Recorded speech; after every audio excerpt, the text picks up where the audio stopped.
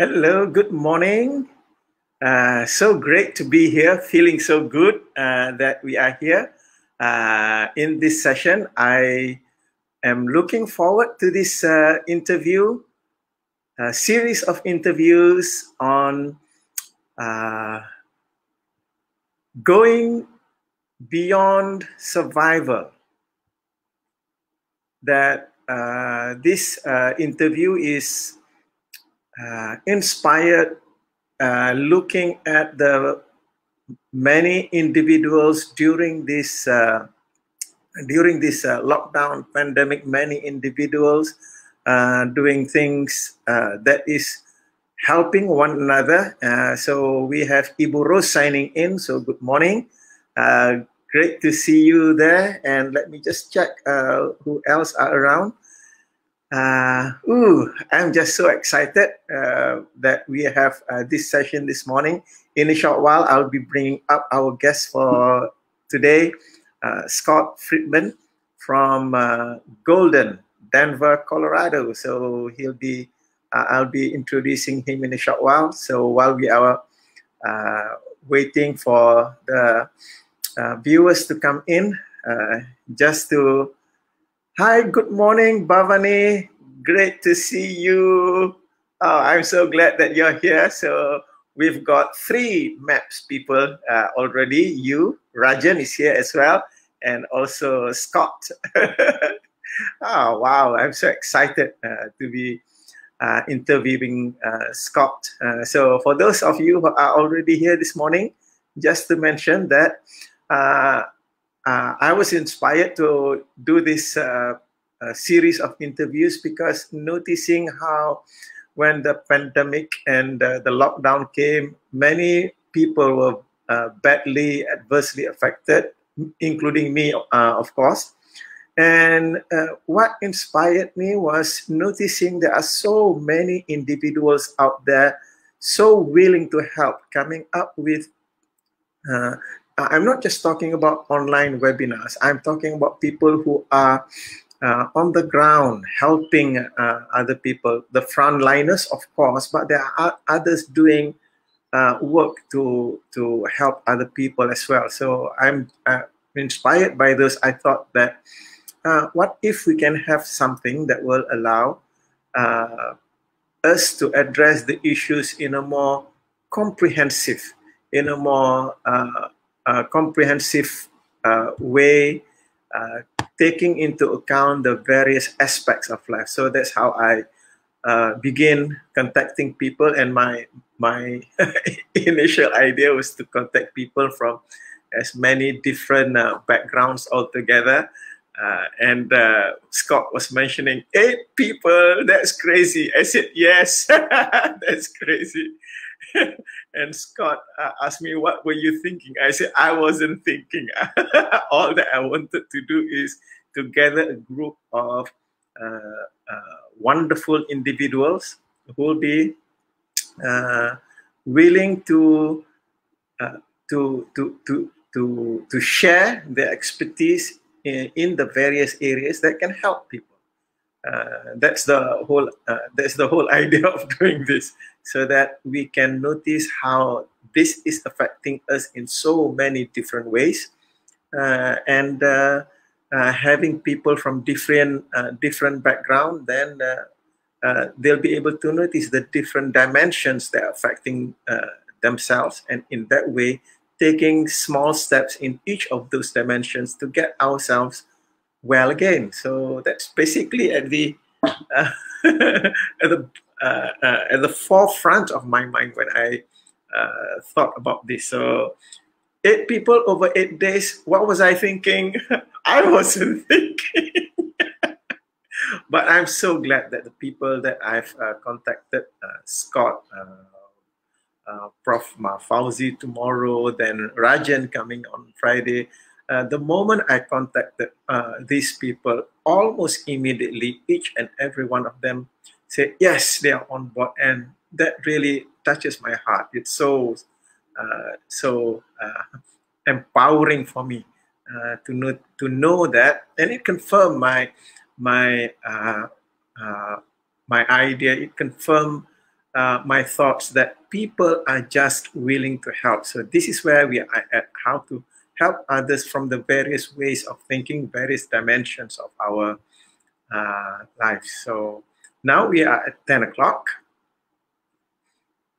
Uh, just uh, checking uh, with uh, my admin over here. are we ready to rock and roll or what? Morning, Scott. Good to see you again. How are you, my friend? Good to see you, Marzuki. yeah, so excited to uh, to to have you here. Uh, and uh, so as we start this uh, uh, this uh, interview, this this will be a, a chit chat, a discussion between friends, just for the benefit of uh, anyone here who, who does not know Scott yet, which uh, I don't know where they are. yeah, it's just that uh, the topic for this interview is uh, turn on your GPS. The first, the first thing I I look at the topic title, I said, "What GPS?" Um, am I referring to Google Maps or Waze? But Scott refers to gratitude, play, and surprise, and that is a just the title itself was a big wow for me. Now, very quickly, just to introduce uh, Scott. Uh, Scott uh, uh is the former president of the National Speakers Association, uh, speaking over 60 times a year on employee innovation and engagement, customer experience, and how to create a happier, healthier uh, workplace. Scott is the author of four books, celebrate lessons learned from the world's most admired uh, organization. I've got that book. Uh, a celebration a day, 365 ways to a happier, healthier workplace. Happily ever after, how to engage any audience. And the fourth book is using humor for a change. And uh, what is also, what really touches my heart is that Scott is the co-founder of Together We Can Change the World. And I hope that by at the end of the interview, Scott will will be speaking a little bit about this. Uh, a non-profit foundation focused on anti-trafficking, social business, clean water, and the health and education of less fortunate children and women. Currently, they have over 20 projects in six Southeast Asian countries. Now, personally, to me, Scott is a big-hearted, authentic, and warm person that I feel honored uh, and privileged to call a friend. So again, welcome to the Going Beyond Survival to Long-Term Sustainable Holistic Wealth interview series. So it's a pleasure, uh, Scott, for me to welcome you here. So if I may start off with the question of uh, with respect to the topic that you are presenting uh, this morning. So, what is the relevance of this topic in the context of the crisis that we are currently facing? You know, there's there's really no relevance whatsoever. No, I'm just kidding. no. I just thought for your first interview, I would throw you off for, for make you feel comfortable. No, actually, there's uh, quite a bit of relevance. Um, the the last two celebrate books celebrate the two that you mentioned celebrate lessons learned from the world's most admired organization and a celebration a day in the books we define celebration as acknowledging all that is good uh, the good work that you do the people that you do it with the people that you do it for it's when your to-do list becomes your done list it's mm. acknowledging the good things in your life and uh, it's it's really just a, a philosophy about life. It's an attitude. It's the lens through which we see our world.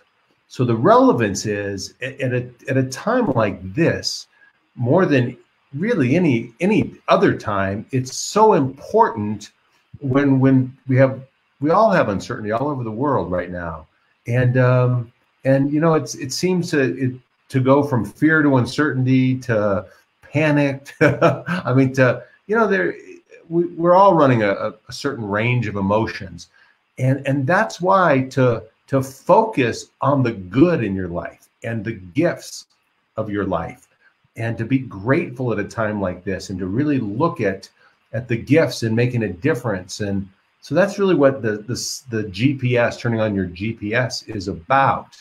So the relevance is that we all have control of our thoughts. Uh, I saw in a T-book, T-box once it says, watch your thoughts for your thoughts become your words. Watch your words for your words become your actions. Watch your actions for your actions become your habits. And watch your habits for your habits become your destiny. So, um, so now it's so important to to watch our, our thoughts um, and, and to you know to really be grateful and to to live in that GPS mentality. So there's your relevance for you. Wow. Wow. So uh, I get it when you say that it's not relevant because it's not just during this pandemic. It is a, a lifelong way of looking at how we live.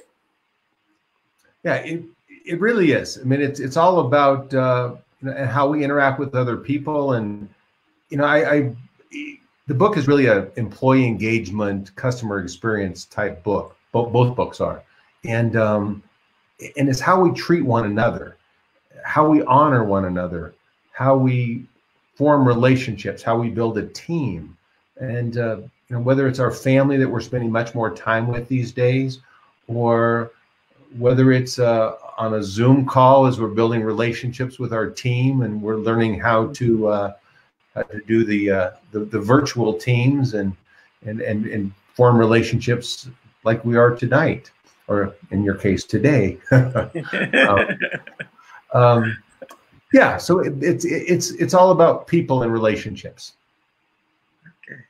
So it's all about people and relationships. So so was that what uh, was uh, driving you? Because I remember that was nine years ago that uh, um, you hosted me in your beautiful home in Golden, and and it was it was not just about being there in the house. You introduced me to your friends, to Alan in in in Boulder, to Joe and Judy in Denver. So was that part of uh, what yeah. you re- you mean about relationships? Yeah, that was a mistake. I should have never done that. it's done. no, I mean that's the uh, you know I've been a I've been a friend of MAPS, Malaysia Association of Professional Speakers, and my you know good buddies for uh, there for for many years, and um, we're all a community, and you know, and and today more so than ever, we're not only as MAPS and National Speakers Association of America and Asia Professional Speakers of Singapore. I mean, we're all part of the same community, so we open up our our homes and our hearts to each other. But you know, I find during this time that never before have we felt the interconnectedness we are as a global community. And so it's important to be able to open up our, our homes and our hearts to, to not just our, our normal communities, but, uh, you know, the, the communities of all of us that are going through the same thing anywhere on this planet right now.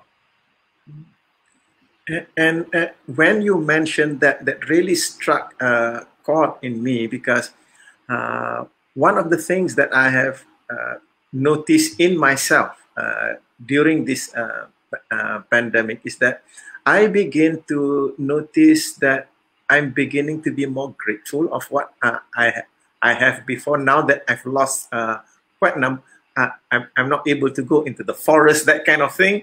because since I've lost those, I begin to value uh, value that. Uh, and and also I'm beginning to notice all the uh, people who may appear to be doing mundane things on a day-to-day basis. However, beginning to notice how valuable their services are. Yes, I, I think that's as, as we slow down our lives a little bit and we have a chance to reflect, we we appreciate the little details of our lives and and I think this is a wonderful time to to to immediately go to gratitude and and, and I'm I'm very fortunate that that's my default in, life is when something bad happens, it makes me appreciate all the good things in my life.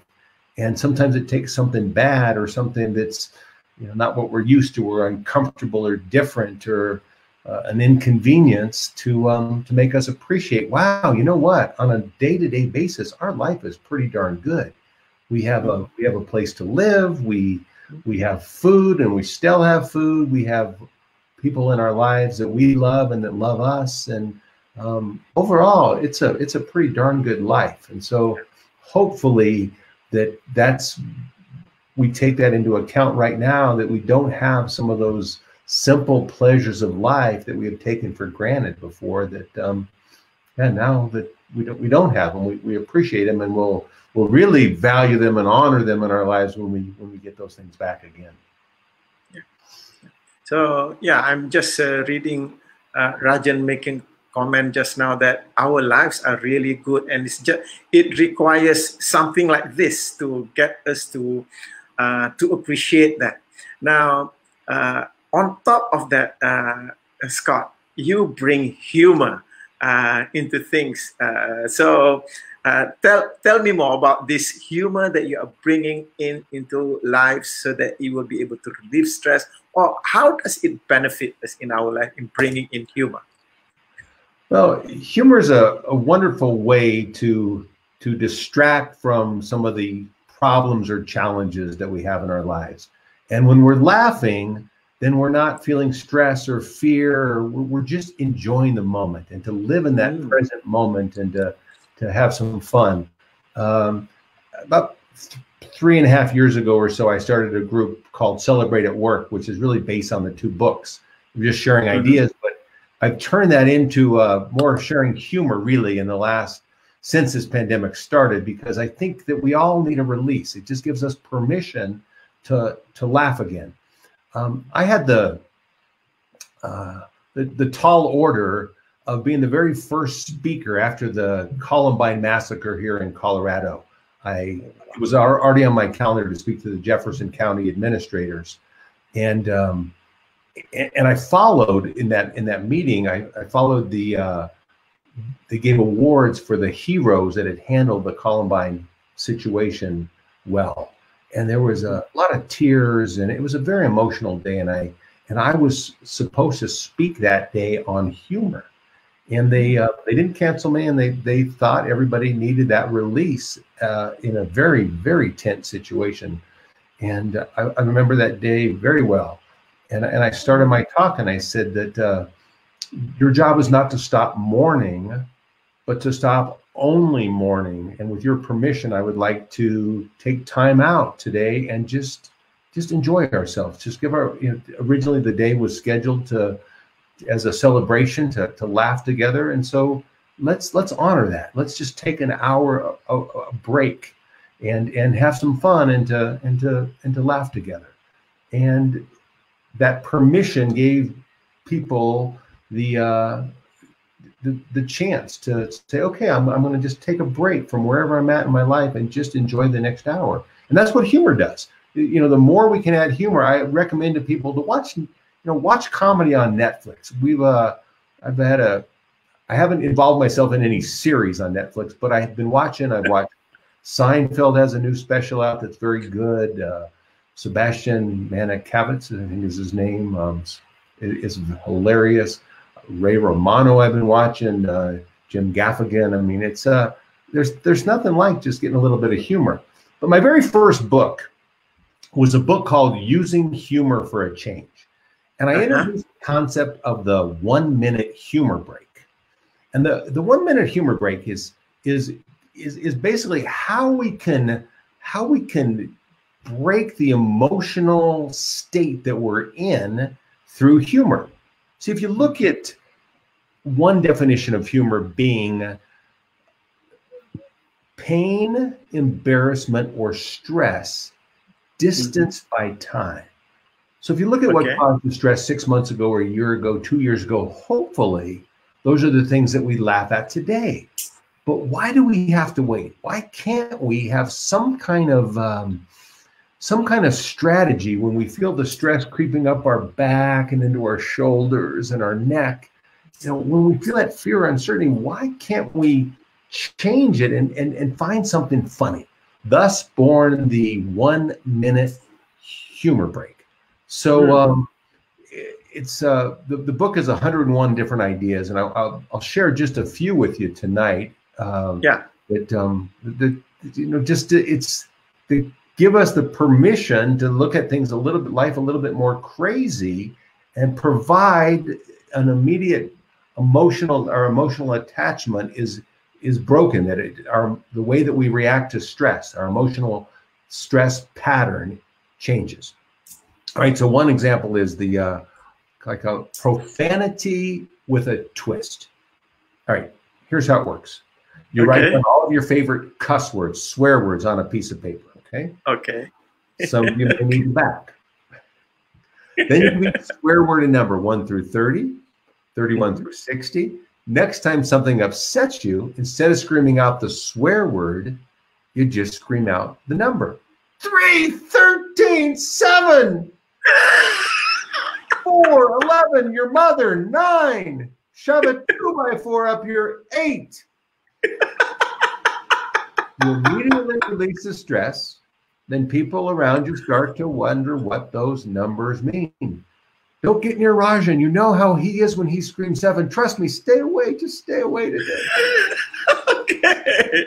So that's, okay. So that's a crazy, you know, that's a crazy idea, but that, but that, uh-huh. you know, but just the fact that you're writing down swear words, you're not thinking about your troubles, right? Yeah. Another one, another one of my favorites is to sing your complaints. So, um, maybe around the house or or for those you're going to be going back to work soon uh, america's starting to open up and a lot of folks are going back to work now here um, so what if you know instead of complaining and and sharing all the stress you have a policy where you have to sing your complaints. So maybe sing. So, so maybe we you know you do like a children's a nursery rhyme oh wow. a kid's song that you learned when you were young. So it would be something like, uh, I yo, I yo, it's back to work I go, a stressful scene. I'd rather quarantine. I yo, I yo, I yo, I yo, I yo. All right, so again, it's, you know, it's kind of crazy, um, but to just to do these little things, break that emotional stress pattern. And uh, how have companies and corporations taken this? Because you do a lot of work for corporations. So how have they incorporated this into their workplace? Uh, if you uh, can give some example. You know, it's. I remember uh, I was speaking to the the, the uh, it was a hospital chain in Singapore, and a mm-hmm. place that you wouldn't expect this kind of thing to work.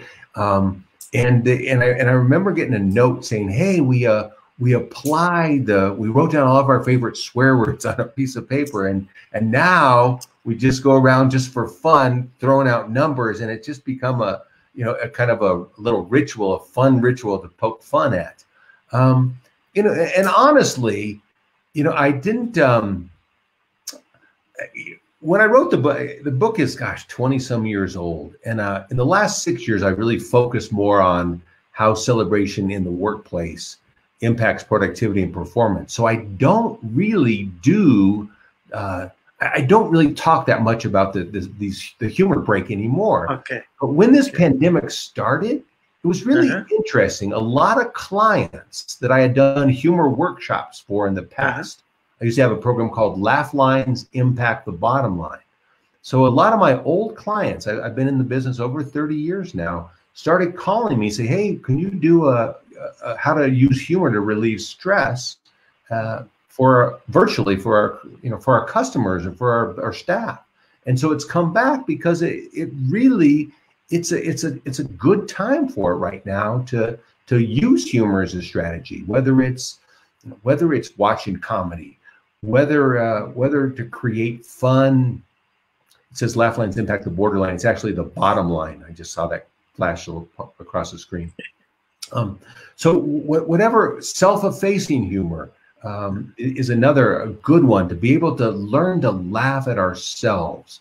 Planned spontaneity is is another is another great uh, great example of a, of a strategy that we can implement now. So planned spontaneity sounds like an oxymoron, right? Two words that don't yeah. Uh, so, but so planned spontaneity, it, it, the the intent behind it is Uh-huh. Is come to every situation ready to play. All right. So, you know, when we spend so much time at home with the same person, there's, you know, tensions can get, can flare up a little bit. And, they, you know, our, our nerves are, are a little, what are they, they, easy to get on those nerves, right? So if you, if you, if you look for opportunities to play with words, to, to, to have some fun with what people say. I, I remember uh, me and a buddy were watching a speaker. Speaker falls off the stage. My friend Mhm. turns to me and says, Hey, what would you say right now if you fell off the stage? So I thought about it for a quick minute and I said, I'd probably say something like, ah, don't mind me. It's it's just a stage I'm going through. I said, what would, I said, what would you say? He said, I will now take questions from the floor. Okay. So if I fall off stage, I'm going with his. I will now take questions from the floor. So it's, it's looking Okay. for opportunities to play. You, you come to work, or you, or you're just in your life. You're, you're thinking of that. uh, My friend Tim Gard, who I, the story is about Tim. He and I were having that conversation, but he has what's called a comic vision. If you look, if you look through through the eyes of humor or the eyes of comedy, for um, it makes life a, so much easier right now. So you're you ever been to a dinner party and somebody rattles the door when you're in the bathroom to get in? Mm-hmm. Normally you'd say, I'm in here, be out in a minute. Right? Next time try mm-hmm. this. Come in. I've been waiting. You want to spice up a dinner party? That would spice up a dinner party. Right? So it's so it's planned. So it's looking for opportunities to have fun. I'm uh I'm notorious if you go to dinner with me and the waiter or waitress comes over and and uh, or they af- when they deliver the food, they'll put the food in whatever I ordered in front of me, and I'll look at them and I'll say, uh, real seriously, I say, uh, "Is it too late to change my order?" just, to, just to be playful, just to you know, just to add a little bit of levity to the situation. Okay. You know, I've So grown in up, this- and now is a now is a better time than any to uh, Hmm. to institute those humor principles that I've learned over the years, and and that's why I find myself um, doing a lot more of these humor programs at this particular point in time because it really is effective. Yeah, a- a- as you are mentioning that, especially in the uh, current situation where people are 24 7 at home with their small circle of uh, family. So, uh, this plan, uh, spontane- spontaneity, how, how would it uh, help people? Because, I mean, you're seeing the same face every day and it can get you, I, I don't know, especially for people who are not used to to be with their family members 24 7 so how does this help So you know, i mean, this the same way. It's it because it's if you're thinking about how you can come up with a funny comeback to something somebody says, then you're you're less likely to get irritated. So you're let's say you only have uh, you know you have one main TV in the in the in the family room, and I, and I guess uh, and maybe your internet connection is not so good, so you can't watch everything on your computer. Let's just say. So uh, hey, can we watch what I want to watch tonight? Sure, we can, as long as what you want to watch is what I want to watch. Yeah, then we can. You know, you just you get a chance to play a little bit, and and um, yeah. So I mean, but I mean, the, the main thing when you ask that question is is is look for look for the funny in the situation. You know, look for look for ways to to lighten lighten the situation a little bit. And um, if you if you if you look for humor, humor has a way of finding you.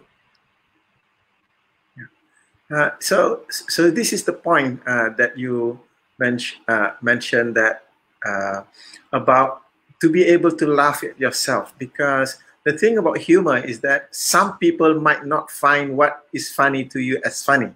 So, can you just uh, explain a little bit more about that? Because some humor may not go down well with others. And and that's why the uh, self-effacing humor, laughing at yourself, is the most important. The highest form of humor is the ability to laugh at yourself. The lowest form of humor is making somebody else the target of a joke. But if you can mm. laugh at yourself, in a sense, what you're saying is that you accept your flaws and your foolishness and your imperfections, and then people can't laugh at you. They have to laugh with you. So if you can mm. laugh at yourself, you will always have something to laugh at. So other people are laughing at you. Why not laugh at yourself? But but it's it's yeah to bring the humor back on you to to poke a little bit of fun at yourself. Is let people know that you don't take yourself so serious. That's a great way to to get through these these tough times as well.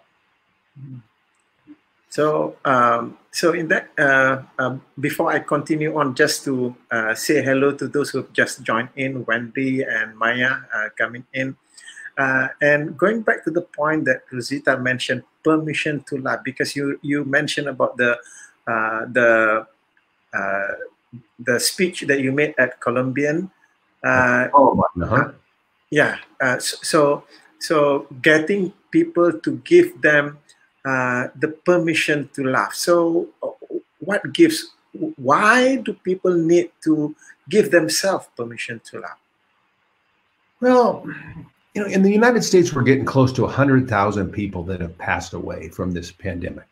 And so, you know, there's a, a lot of people think that now is not a time to, that, you know, this is not a laughing matter what we're going through. So when, when I when I first started doing programs when this pandemic hit, when I when I first got back from Asia, um, I, I, treated it like like the Columbine situation, not not quite as uh, severe, but um, but I did. I said, hey, can we just uh, you know I, wherever you I, I did I ran a poll about you know what what you're feeling right now, and then I said, okay, as you can see, the emotions are all over, but if I can, with your permission, can we just all agree that for the next hour we're going to we're going to give ourselves permission to laugh so if you're if and some people don't need permission. I, am I'm, I'm one that I, I know the value of humor. I um, you know I mean I I I'm sad. I'm I'm empathetic. Um, you know I uh, I lost an uncle that uh, to COVID nineteen. Um, that, that pretty sure it was COVID. Mean, it was respiratory. He was in a, a rehabilitation home for a little while, and then and, and um, he, he got it and passed away. And so, I mean, it, it, it is a serious issue, but I, I, love what Jack Welch said. Jack uh-huh. Welch, he said, uh, when, he, when he's asked about, you know, how did he create this amazing learning environment at General Electric, he said he taught his workers to take their work serious, but to take themselves lightly. So I know the power of being able to take ourselves lightly. That doesn't mean we don't take the situation seriously. Um, we, we can be empathetic we can be sad we can you know we can mourn a little bit. But but we're gonna we're gonna be much better help to others when we take care of ourselves mentally and emotionally and that can be with humor. So we can we can run that balance. But um you know i'm a i can appreciate spending a, a fair amount of time in in humor and and uh you know, and making sure that I surround myself with people that make me laugh and and that um, I, am watching shows today to, that, that that make me laugh, so that I can I can I can stay in joy. Yeah, yeah. I've I've been following your Facebook posts, and uh, you give me a laugh every day. I can testify to that. Good. Now, under the current uh, situation, people are uh, under a lot of stress, financial, uh, medical stress, and all that. So, how can we make our culture more positive? So, uh, I know that uh, the the way that you're doing is you bring injecting humor. So, so what else can we do to make it positive? Well, I've been in a, a mastermind group or with uh, for many years with a lady by the name of Mary LoVerde. And, and many years ago, she introduced a concept of the best of the best to me. And I remember we would start off every mastermind meeting. And a mastermind meeting is when six of us speakers would meet for a, for a few hours and, and just brainstorm ideas, basically. And uh, the best of the best is it started for her when she was coming back from a trip from to Disneyland with her family. And when you take a family vacation or holiday, on the way on the way there, everybody, all the kids are well behaved, they're excited, but on the way back, they're a little cranky, right? Maybe haven't mm. had enough sleep, and and uh, that's kind of when you run through in your mind which kid you may put up for adoption first.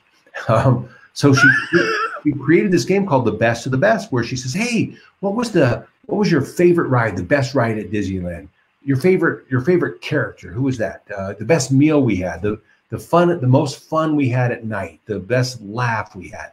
As many categories as they you could come up with for the best of the best, and it was so effective to getting for that ride home that she started that concept around the dinner table at home was they would sit down as a family for dinner after school. And the um, the first question she would ask her kids is what's the best thing that happened at school today? Tell me something positive. So she taught her kids to look for what's positive in their lives. And hmm. That really helped to create three very well adjusted positive kids and so this this best of the best. I remember I had the great fortune of serving the National Speakers Association as president in, in 2004, 2005.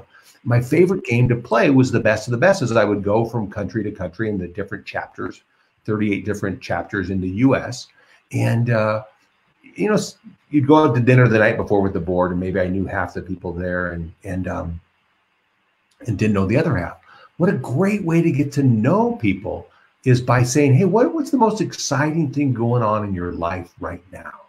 Uh, because yeah, it's good for Thanksgiving. It's good for those that have just come, come out of Ramadan and you're you're celebrating with uh, with family and hopefully friends. If uh, you know, we were talking a little bit about that before. That I guess the first night you were able to, but uh, you know, th- then it's to immediately go to sharing what's good. What what you know that that's the whole celebrate mentality is. Let's talk about what's good.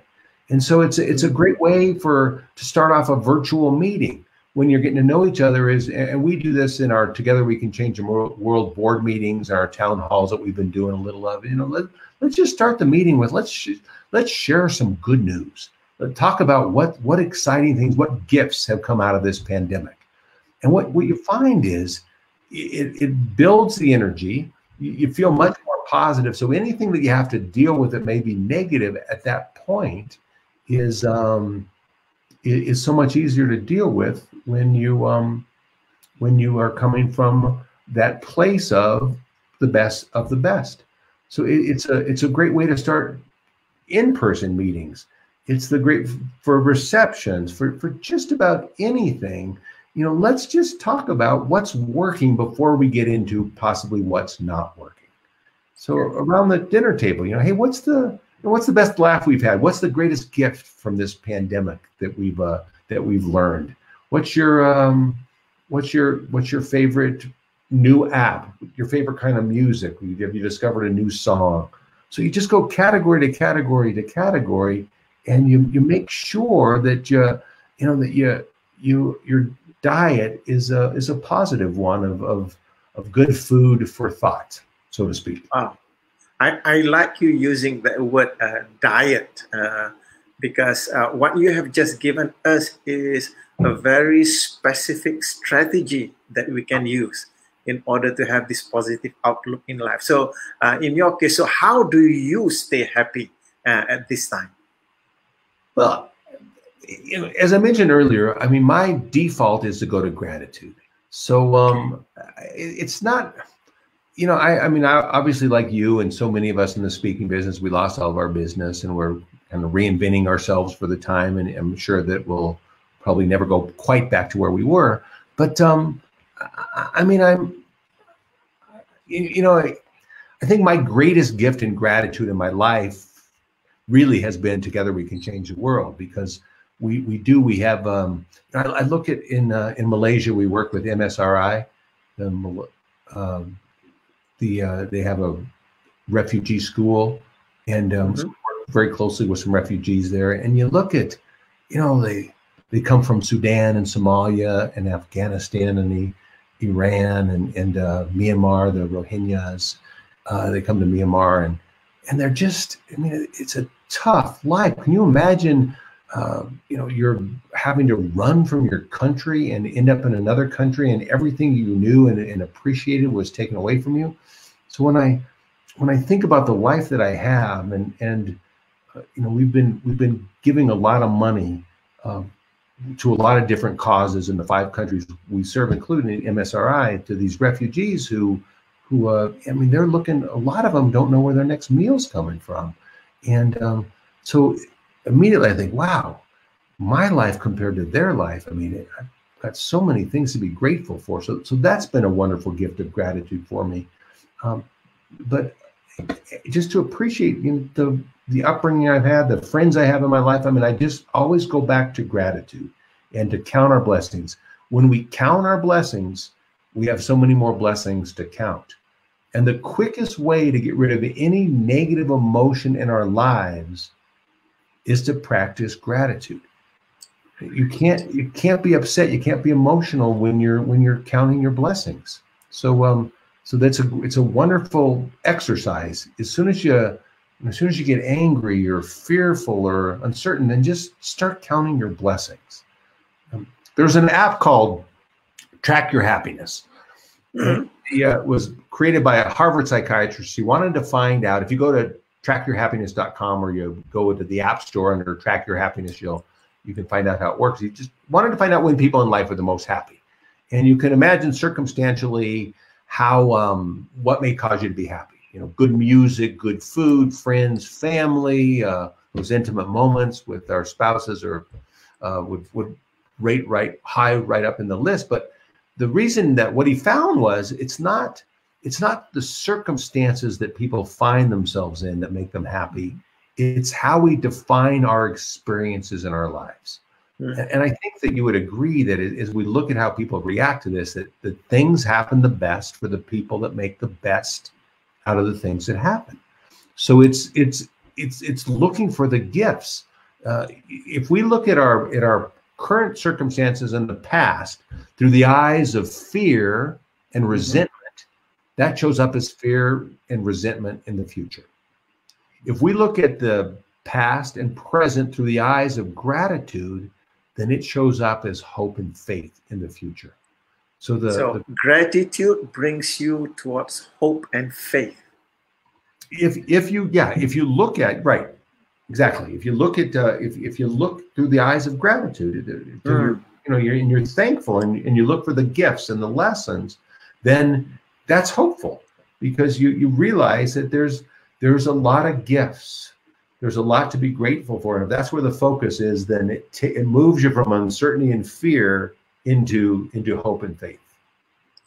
And, and pro- is that why uh, when when I you know you watch these video clips of refugees and you know that their situation is really dire uh, uh, with no food uh, and all that, and yet there are flashes of happiness and joy in their lives. So, uh, what gives? I mean, uh, we look at the, the, the kind of stress in terms of the physiological need that are not being met and all that the fear the danger and yet they have these times in their life that they are just joyful so uh, can you just comment on that and i would i would think they spend probably most of their lives or, or a lot of their lives being more more joyful um, and part of the reason is is because they don't have all the all the reasons to be unhappy that we create in our own lives. You know, we mm-hmm. we let technology drive us crazy. Well, they don't have that technology to drive them crazy. So a lot of times, a simple life is better. But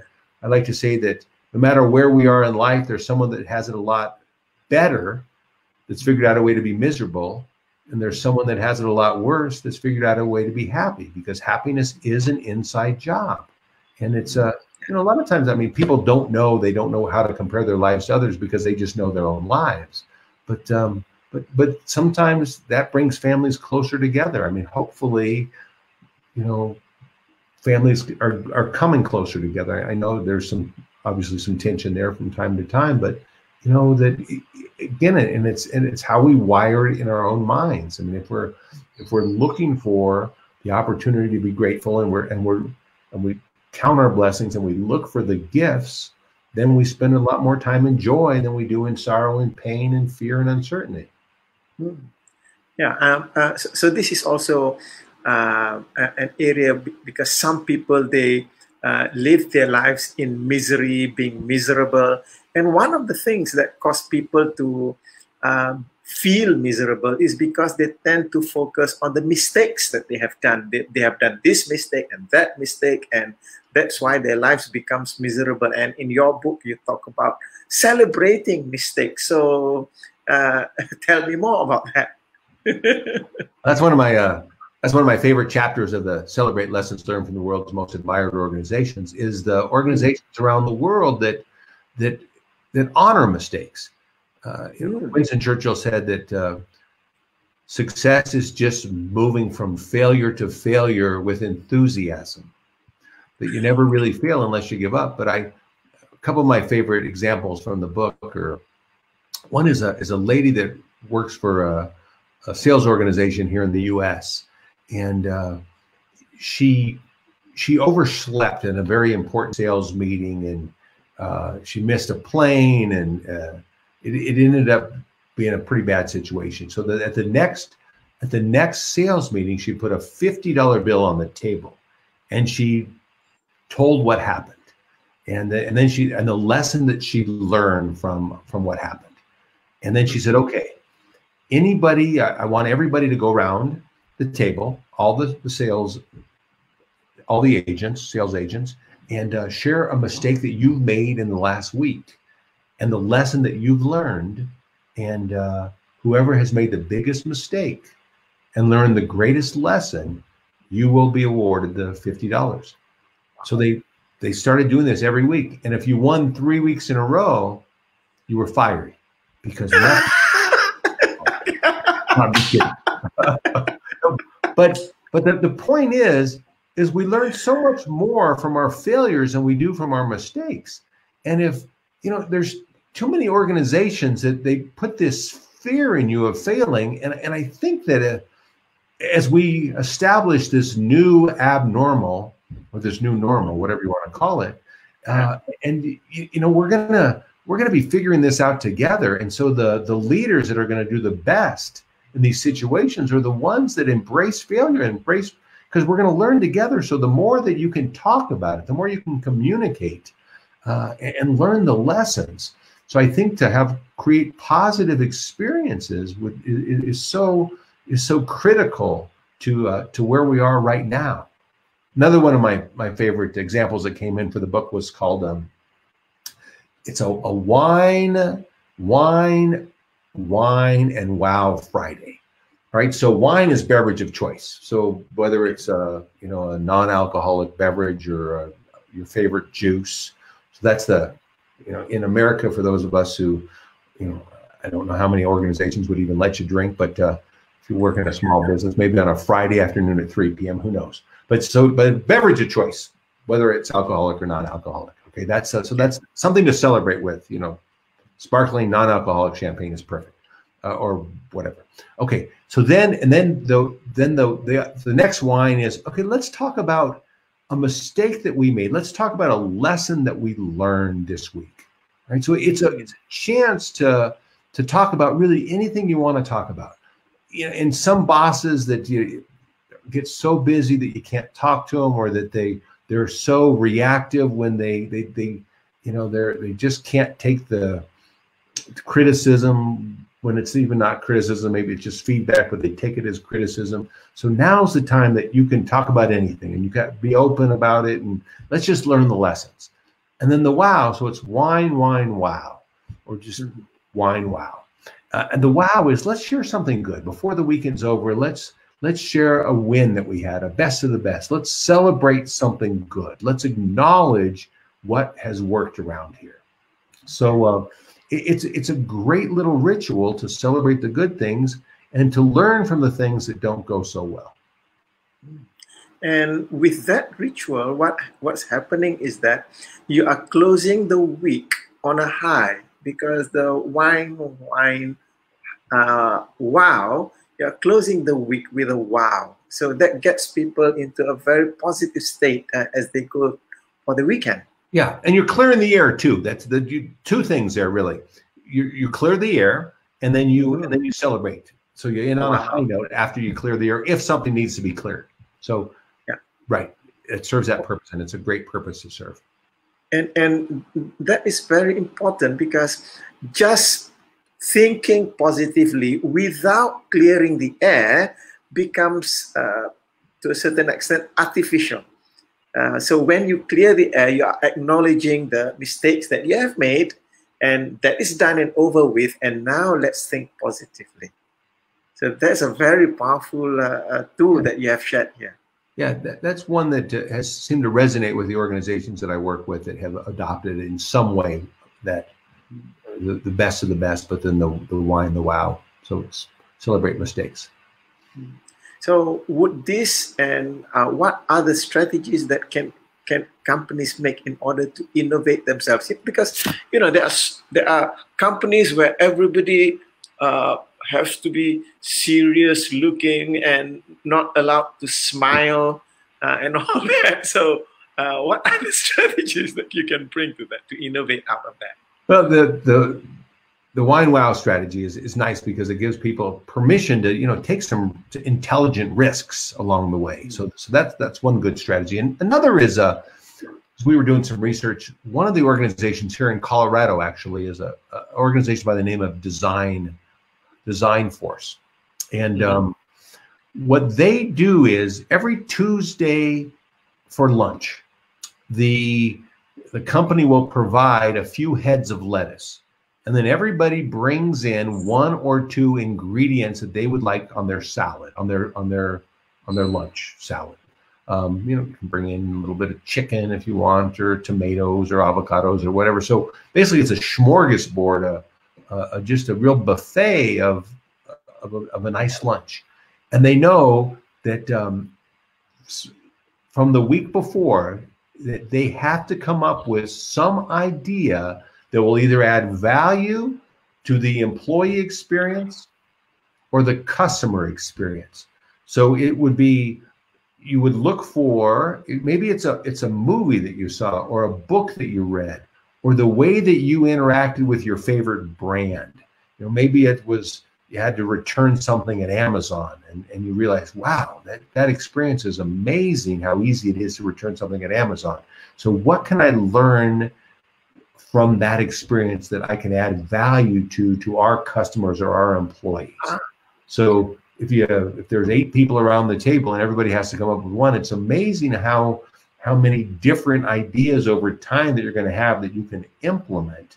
And, and especially it's it's so important right now as we get back to work and you know it's a it's a it's a new way of selling. I mean we we we need to be much more compassionate. We need to be more much more consultative to find out what where people are at and what their needs really are at this time and so it's a great way to innovate together by having those conversations and then everybody has a chance to to be part of that that they, they feel like they have ownership in in in not only the uh, in the decisions that are made and, and and moving forward as a as an organization, but they feel ownership in the company as well.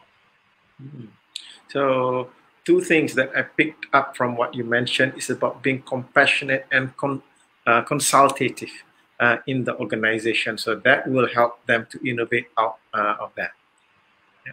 yeah okay, well, so I mean, I think yeah, empathetic and compassion. I mean, so we can't go back to our old ways. I mean, we, you know, we, you know, part of the when we talk about the GPS, gratitude, mm-hmm. play, surprise, the, the surprise. If we can just go there for a moment, because I think it, it relates to what you're talking about. The the surprise really is is the element of the unexpected. It's giving people what's highest on their joy list. So, in order to figure out what intrinsically motivates other people, we can't be so focused inward. We have to we have to pay more attention. We have to ask good questions.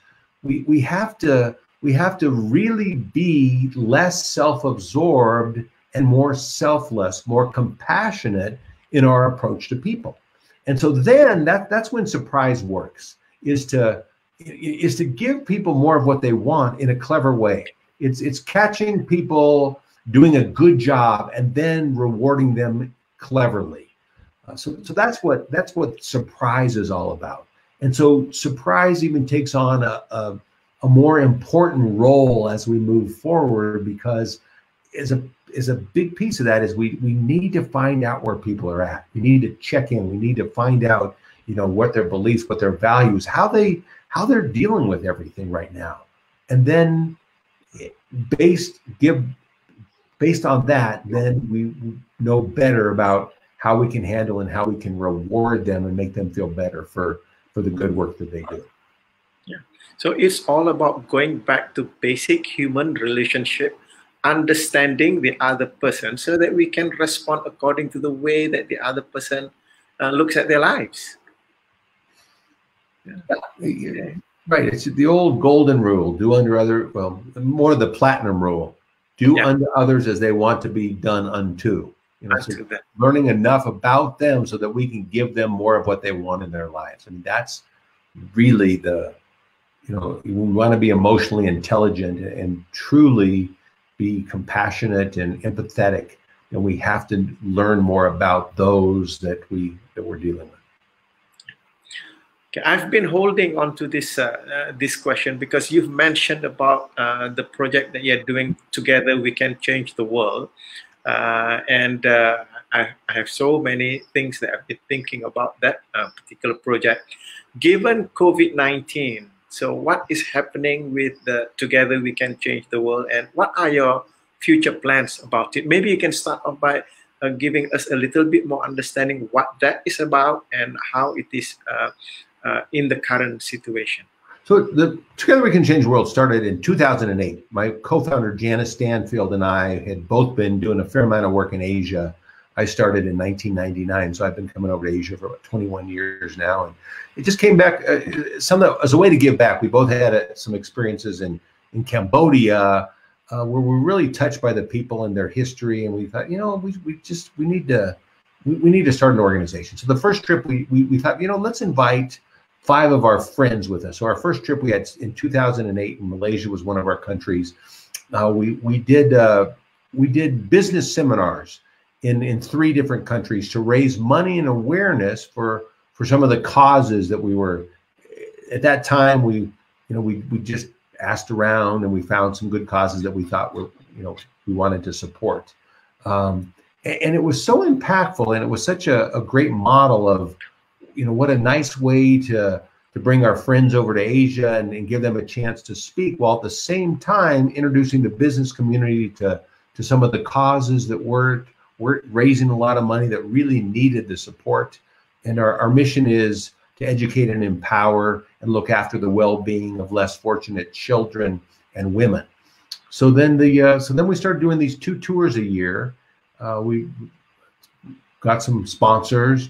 Uh, we, we, do some hotel training and trade outs along the way, uh, and to raise money. So every speaker that comes on one of these tours pays their own way to come and then they have to do at least a, a fundraiser for up to 1500 us dollars at least 50, i'm not up to at least $1500 uh, and that money goes to the causes that we serve along the way. And then all the money that we raise from these business leadership conferences also that that money goes to uh, to to the um, to the causes in that country that we serve so, so this July was actually I, I, was more excited about this tour than I think I have been about, about any of them because we had 18. There was 18 coming, and uh, more. We attract uh, the speakers that really want to move from success to significance in their lives. So we, we attract a lot of the certified speaking professional types, but but but this particular trip, we I think almost all of us were certified speaking professionals or Hall of Fame members or uh, global speaking fellows, and so a really good group. And unfortunately, we just, you know, recently we had to cancel our trip for July, and so now we're recreating it. And and that's the the nice thing about being where we are right now is is we have a chance to basically have a blank canvas to reinvent ourselves to throw paint on that blank canvas and create a, a masterpiece so we're we're looking at you know how we can how we can do a virtual conference and you know now instead of just bring bring in like we were in Malaysia last year at uh, at the uh, Setia Convention Center. We had close to 500, 490 people showed up at that uh, at Setia for our program. But but instead of having a program in, in, in Kuala Lumpur, we can uh, we can now open that up to anybody in the world can attend, kind of like on, on tonight. Who knows where we have people from, right? Um, and, and so we're, we're looking at doing a program called Bounce Forward. Bounce Forward. Yeah, better, smarter, stronger. And, and, we're looking for celebrities, world leader types, uh, just some very well known people that have had setbacks and, and how they bounce, bounce forward and the lessons that they've learned along the way and the lessons that we we can learn as we recreate, we reinvent, we reimagine what our own future and the future of our organizations can look like. So, um, yeah, so we're, we're excited. We're, we're just in the beginning stages, but uh, we're uh, we're talking to a lot of some folks that you would recognize that, um, and hopefully we'll uh, we'll we'll have a a, a very uh, very uh, what's the right word? Uh, just a you know some, a, a, group of you know very esteemed professionals and celebrity types that uh, have learned and want to share their their brilliance with us and uh, raise some money for some good causes. Yeah, I, am I'm, I'm inspired by uh, by what you're doing, and many people are do, uh, uh, are, are, doing whatever that they can in the areas that interest them. Because as I'm uh, observing the social economic situation of societies today that uh, people talk about the gap between the rich and the poor and uh, the rich becoming richer and the poor becoming poorer and noticing that uh, that gap i'm also noticing that amongst the people who are rich who are wealthy there are so many individuals who are ready and willing to help. And so, so this is where uh, how I see your uh, together we can change the world is tapping into that because uh, there are people who are wealthy and rich and they become wealthy and rich because of their wealth habits uh, and uh, and and they feel because probably many of them also came from uh, impoverished background and they feel for the people who are less fortunate. And i'm also noticing when this covid-19 hit i'm noticing that quite a number of these individuals are wanting to help. So so that's what i'm uh, yeah, being one of the one of the gifts that's coming out of this is you really see people come together and want to help one another.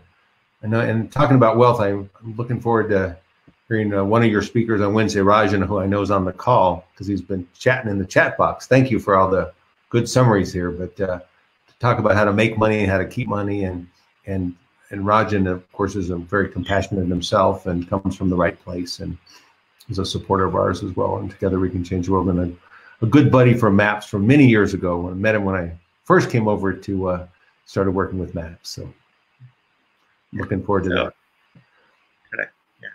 So yeah, I'm also looking forward to that because uh, because uh, uh, one of the primary reasons uh, uh, I'm having Rajan on Friday is is because uh, people right. who are currently not wealthy or been badly affected by by this pandemic is that it is because these people are not lazy. These people are it's just that they have not learned the skills, they have not learned the strategies. So that's also part of what I uh, uh, I have in mind that when people uh, are able to learn the strategies of wealth, and for me, what you have covered today is the wealth strategy for mental and emotional health. So and uh, and if people don't know this strategy of how to use humor, how to how to look on the bright side of things, then the mental and emotional health will suffer uh, in a sense. It's just that people need to learn. And so that's probably the reason why I'm having uh, this series so that we can we, we can uh, uh we can approach uh, people, we can get them to be exposed to uh, there are other strategies that we can learn to make ourselves better in this situation. So, yeah, well, I'm. I'm, I'm impressed that you're uh, doing this eight nights in a row, and I, I, think it's a you know wonderful thing to do, and and um, I commend you for wanting reaching out and helping folks. So thank you, and thanks for thank you for having me kick it off. so uh, I'm just uh, looking at the comments that the uh, participants are uh, putting in. So looking if there are any questions. Uh, we've come uh, to about the end of the session. So if there are any questions that you may want to ask, just put into the comments and we'll take the questions from there. while waiting for the questions, just to uh, check with you, uh, Scott, with respect to what it is that you're doing. Uh, how can people know more about what you're doing? Uh, uh, because uh, I, I do believe that there are people who will want to be able to be together with you or gain some of your expertise from there. So, how can they do that? we have a Facebook page at Together We Can Change the World. So it's a Together, comma we can change the world at Facebook. Our website is twcctw.org, which is together we can change the world.org, the first letter of each word. Uh, personally, Scott at scottfriedman.net. You can find me. And uh, I have, I mentioned, we, we, talked a little, little about uh, the group I have at Facebook called Celebrate at Work. So if you just go to Facebook and put in Celebrate at Work, I would love you to join my Facebook group. We share some humor and some good ideas, a little inspiration every day. Um, so yeah, good way to laugh and, uh, and make sure that you keep focused on on the positive.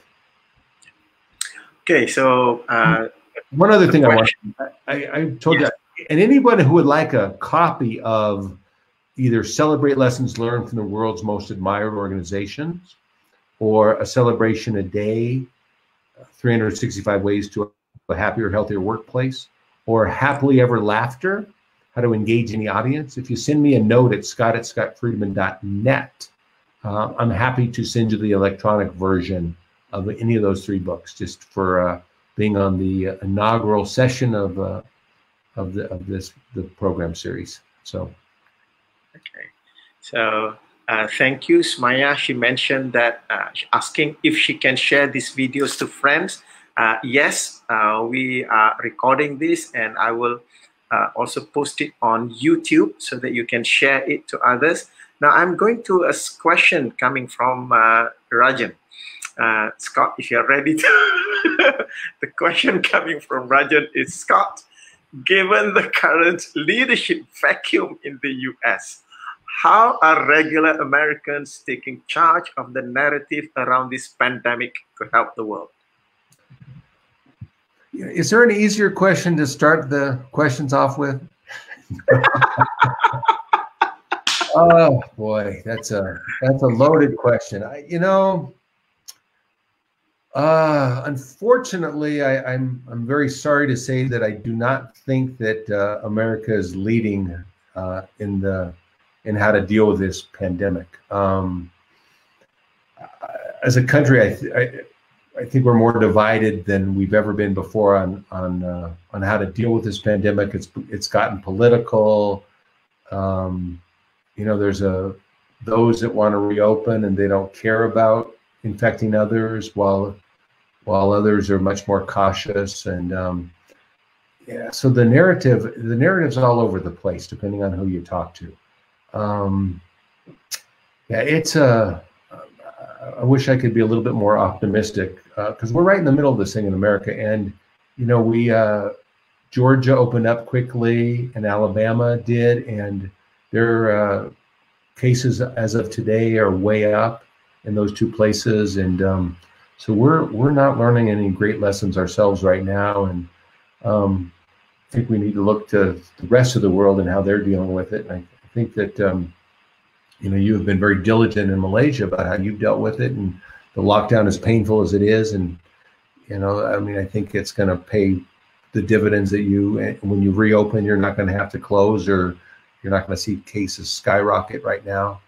Um, I mean, I think that the the lesson that if I had to share a lesson that we can all learn right now is is just to you know be be considerate of you know it's we're, we're interconnected here and and you know, we should all wear masks when we're in public places. We should, uh, you know, if we have any conditions that any chance that we may have this, that, to stay home, to get tested, um, and to do our part to to to make it easier on our fellow man, so that we can, as a as a as a global community, we can help solve this thing together. Um, you know, and, and and just take personal responsibility for social distancing, wear a mask, and and and getting the word out what what needs to be done as as we rebuild as a as a global community. So, wish I had a better answer for you, Rajan. I know we talked about this a little bit uh, amongst ourselves. Thank you for that because uh, you are mentioning global community, the need for us to be considerate, to be compassionate, to be empathetic. Uh, that is the way forward because uh, no nation is an island. We are all together in one globe. Yeah.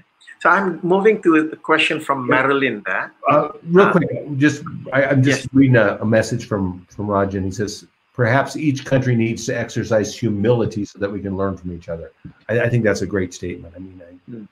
unfortunately, we do not have a leader that has much humility or any humility at all. And I think really we just need, you know, we don't have to. We we're, we're all trying to figure this out together and we're you know we may not be right all the time. So we just need to admit when we're wrong and learn together. And i think that's wonderful advice. Thank you rajan for let's all exercise a little humility at this time.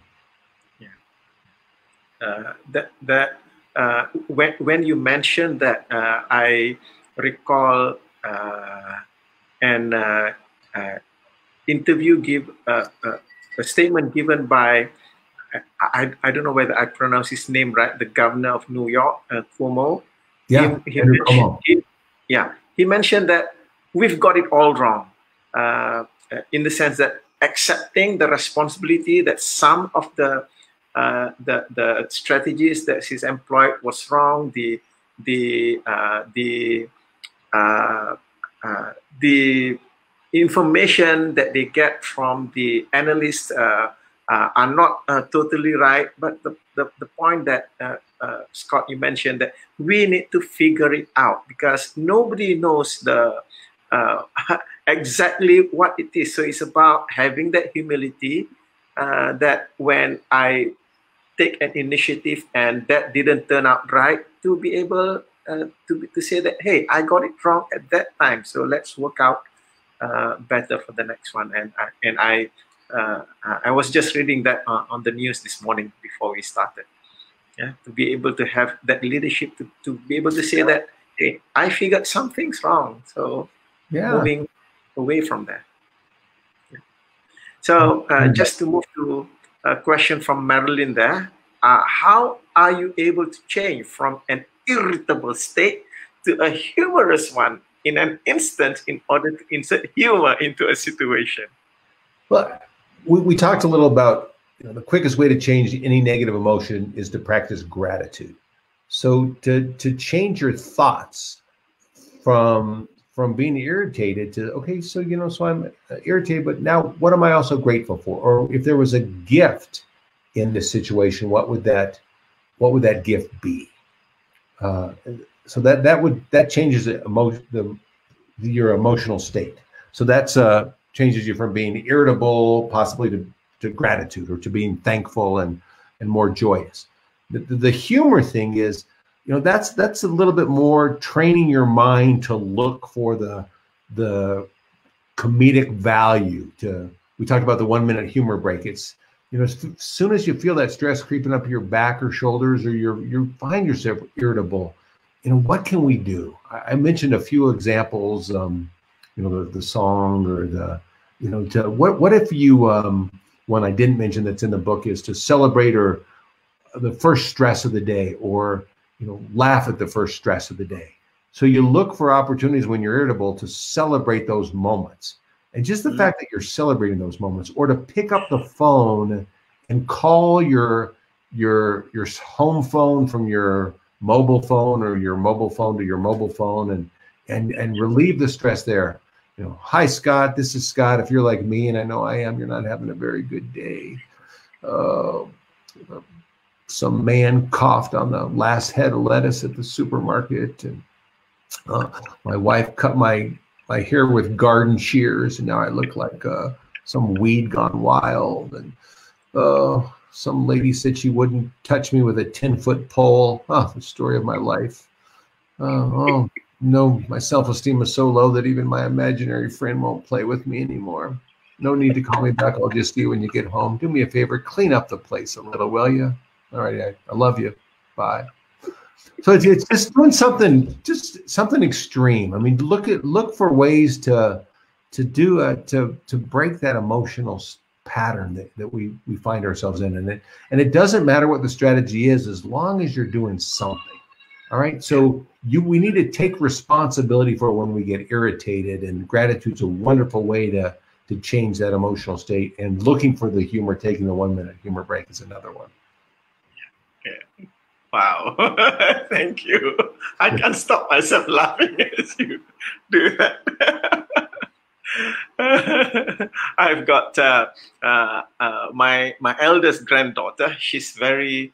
Uh, she has a humorous take on almost anything uh, uh, in life to the extent that when one day I just blurted out, I asked her, "Grasshopper, are all the bones in your body humorous bones, funny bones?" And with a straight face, she looked at me. No, and I was stunned and I asked her, So which one is not the funny bone? My sternum. and I, like where'd that come from? yeah. And she was about what, four or five at that time. And I went, I really went, where did that come from? And uh, as what you're saying is just just go and find the funny way of looking at things because when we look at a different perspective, then we can find a, uh, a funny way. And you mentioned about this uh, earlier that uh, for most people, even though uh, they have gone through uh, a crisis in life, but time allows them to take a different outlook to what happened. Uh, it's just that we don't really need that time, as you mentioned uh, when we are able to approach things from uh, joy, from gratitude, as what uh, Hashim mentioned that joy and gratitude, then we don't require time to be able to look at the funny side of that situation coming in from gratitude and joy. Yeah, yeah. she must be a must be a joy to be around, huh? Mm-hmm. oh yes, That's and uh, frankly, I've learned so much from her uh, with respect to looking at things from the uh, humorous, uh, humorous perspective. She tends to look at things from humor, uh, almost automatically in many different situations. Yeah, now, let me just for a long time, huh? yeah. let me take this uh, question from Siti Maheran. I we are coming to a close now. How can we invite stressed out serious leaders to engage in GPS? So, you know, it's it's it's so tough sometimes when uh, when we're dealing with leaders that that uh, just don't see the humor in situations that don't live from a place of gratitude. So we need to take baby steps, and I think the uh, the best of the best may be one of the one of the easiest rituals to get buy-in from a serious stressed out leader uh, and you know to show some statistics from what it sharing positivity in the workplace and, and how workers are more productive um, you know just say hey can we just you know can we just start off by sharing a just a few positive things when we start a meeting and then I think that they they would see that the the reaction that the, the positive energy that is generated and you, you hope. So over time, if, if you can just build in a few different rituals, positive rituals, and um, I'm happy to share, as I mentioned before, the there's a lot. The the celebration a day has 365 different ideas on uh, really how to that fall into gratitude, play, or surprise, and what you can do in the workplace. So um, I think there's some good ideas, but I, but the the less threatening ones are the ones that they may be open to, and then of course if you can tie it to results to the bottom line through studies, or um, then then that may be a way to get buy-in from from a stressed out, serious leader. Okay, thank you very much, uh, Scott. Uh, I really enjoyed this session. I've learned so much. I've taken uh, lots and lots of uh, notes uh, uh, for myself. Yeah. I wonder if that's the same with the participants who are viewing it. and before we end, I'd just like to mention my sincere appreciation again to you for being so open, so gracious, and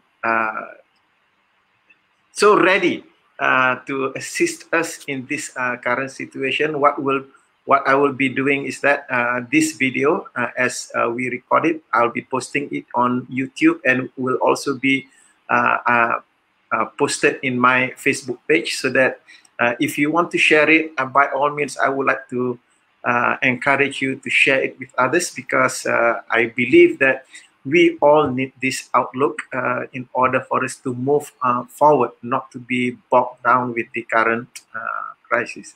So uh, before we end, uh, just to mention that uh, tomorrow we have another speaker, and this is from the medical dimension. tomorrow we'll have Professor Dr. Uh, Professor Datuk Dr. Mafauzy Mohamed, the Professor of Medicine and Senior Consultant Endocrinologist. Uh, he'll be speaking uh, from the perspective of preventing heart attack, stroke, and diabetes. And uh, probably why he's chosen this topic is that uh, this COVID-19 is affecting as people who are 60 and above, and that includes me, are at greater risk uh, because of uh, our pre-existing uh, uh, weaknesses. So, so probably that's the uh, I would say the relevance of what he will be speaking about. So that session will be coming in at about 11 in the morning tomorrow. So I hope to see you there again. So Wendy, what I will do is that I will also take that uh, request how to get the ebook again, uh, I will also share uh, the link that you can go to in order to get the resources that yeah. Scott has available. Yeah, yeah I'll send it to you, and then you can pass it on as well. And then, and Wendy, I know where to get a, I know where to get a hold of you. So I'll, I'll send you the book. Okay, good. So again, Scott, thank you very much. Uh, I really appreciate. I'm so grateful that uh, you uh, you are here today, uh, bringing me uh, a lot of joy, uh, a lot of hope for the future, and I hope that it does the same to the viewers here. So thank you, and I look forward to meeting you again, Scott. So with that, thank you very much. Hopefully soon. Yeah. so Hopefully soon. It's been a pleasure being on. Thanks. Right. Bye bye.